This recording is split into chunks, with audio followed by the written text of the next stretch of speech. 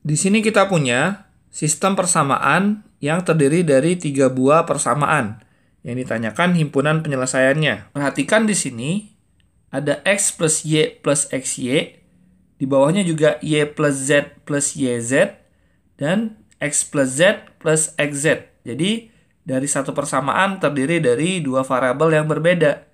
Sehingga kita bisa manipulasi bentuknya dari persamaan pertama x plus y plus xy.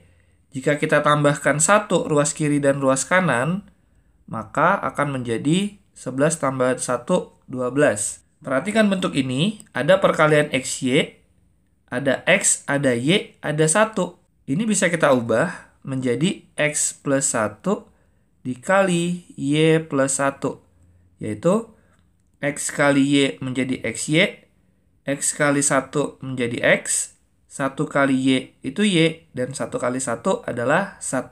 Nilainya sama dengan 12. Begitupun untuk persamaan 2 dan persamaan 3.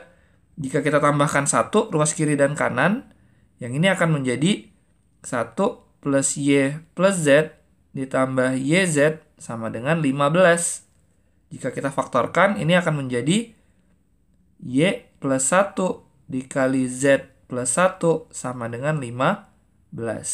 Untuk persamaan 3 juga, yaitu X plus Z plus XZ ini nilainya sama dengan 19. Kita tambah 1 menjadi 20. Kita faktorkan menjadi X plus 1 dikali Z plus 1 nilainya sama dengan 20.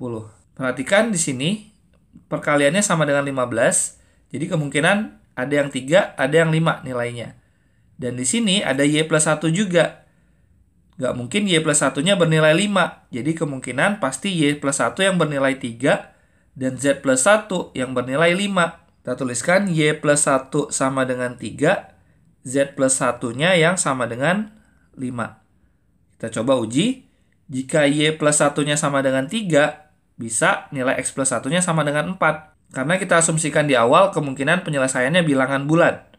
Jadi, Y plus 1-nya kita anggap 3, sehingga X plus 1-nya yang sama dengan 4. Kita uji juga di sini, X plus 1-nya 4, dan Z plus satunya tadi kita jadikan 5. 4 dikali 5 menghasilkan 20.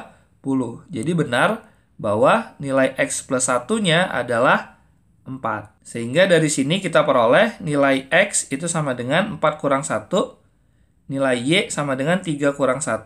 Dan Z nilainya sama dengan 5 kurang 1. Maka himpunan penyelesaiannya adalah bisa kita tuliskan sebagai 3,2, 4. X, Y, Z. Untuk lebih yakin, coba saja substitusi nilai X, Y, dan Z-nya kembali ke persamaan awal.